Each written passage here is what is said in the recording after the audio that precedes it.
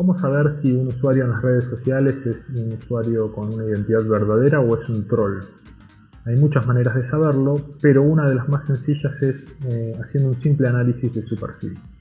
Vamos acá en, en este tweet falso, con una información fake, podemos ver quién lo emitió. Algunas de las características para poder determinar su veracidad o no eh, están dadas en su identidad. Acá vemos que eh, el usuario es eh, como nombre low expectations, arroba marian-ok. Esto nos da la pauta de que no utiliza su verdadera identidad, de que está falseando o ocultando sus verdaderos datos. Lo mismo ocurre con la foto de perfil, hay una caricatura y no una foto real. Tampoco nos dice nada en su, en su biografía.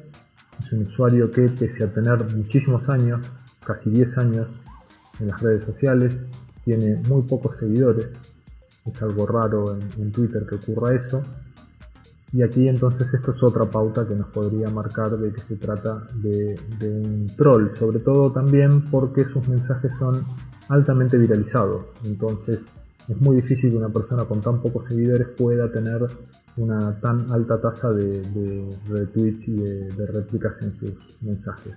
Esta es una idea de que puedes formar parte de un engranaje de trolls que generan mensajes automáticos y a la vez son retuiteados por otros bots u otros trolls para que ese mensaje escale posiciones, lo vea mucha gente y también se transforme en trending topic.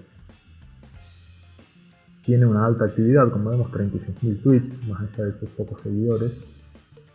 Y aquí podemos ver algunos mensajes también, viendo su timeline podemos ver eh, cómo, cómo se comportan las redes sociales.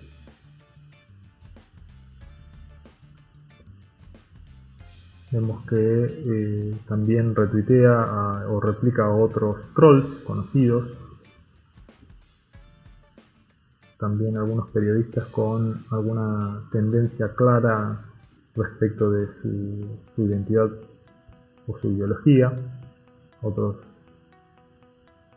mensajes de otros usuarios que pueden ser trolls y acá vemos también cómo replica diferentes informaciones que eh, bueno acá también tenemos otro usuario en el que no se le ve no se le puede conocer la identidad.